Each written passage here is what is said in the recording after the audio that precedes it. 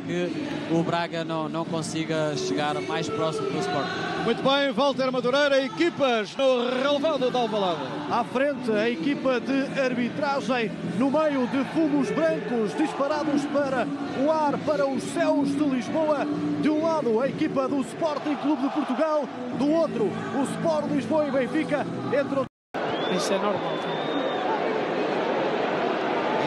Benfica ali uma grande confusão. Atenção ao remate e o golo! É o golo de Rafa! Minuto 80. Rafa entra e marca em Alvalade. Grande confusão. Uma...